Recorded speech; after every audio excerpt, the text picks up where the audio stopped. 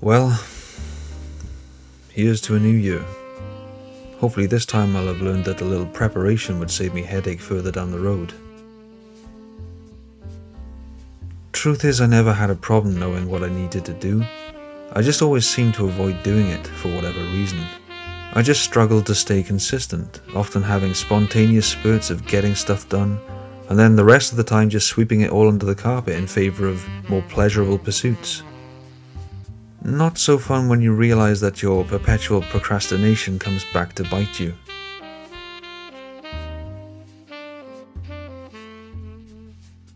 And part of me wonders whether there's any point in taking a drug if all it does is stop working after some time, and in the meanwhile hounds you with side effects that drive you crazy just so that you can operate at an acceptable level.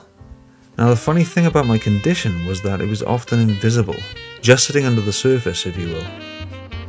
To the untrained eye, I was normal. And a lot of the time, I felt like I was pretty normal. Then again, I'd only have to look around at my surroundings and and realize that even though it was kind of subtle in some ways, it was pretty blatant in others. The only other things that ever seemed to help was good old-fashioned exercise. And maybe a little help from supplements, but overall they didn't seem to do much for the most part. Here we go.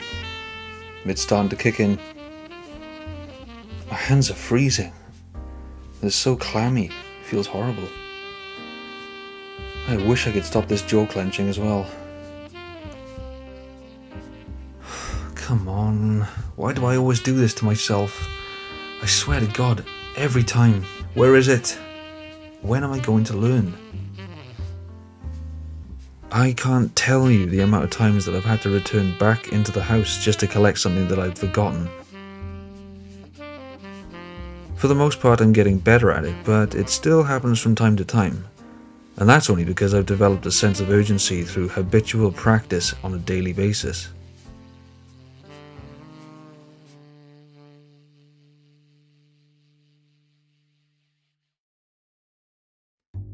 The workplace was another environment that often perplexed me. Everywhere I'd go, there'd always seem to come with it an unprecedented degree of bullshit that one would need to put up with as an unannounced yet integral part of the job. Continual perseverance would often require copious amounts of caffeine and chunking the day into small segments just so I can keep my sanity. Those bouts of superhuman hyperfocus that others seem to acquire at will only seem to come to people like me when the task at hand brings the utmost joy. Most of the time, however, I'd like to keep to myself just to preserve my mental energy and to protect myself from the woes of workplace drama. Screw all that. If I could just get through the day unscathed, stress free, and a day richer, I was happy.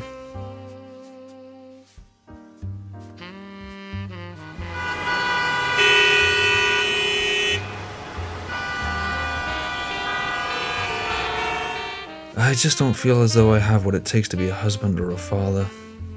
I mean, part of me wants to have it, but the other part of me feels like I'd never be able to successfully maintain a family in the long run.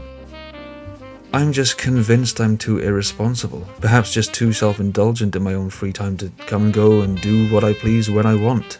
And I'd be pretty resentful if it were ever taken away from me. Sometimes I just can't block things out and I get overwhelmed Everything just seems to pile on top of me and I I just get flustered and I I just struggle to keep together. I really wish I could experience the same level of gratification that I get from playing video games in other areas of my life. Maybe then I might be successful instead of just neglecting things. I'm just tired of being kept awake by my own thoughts every night.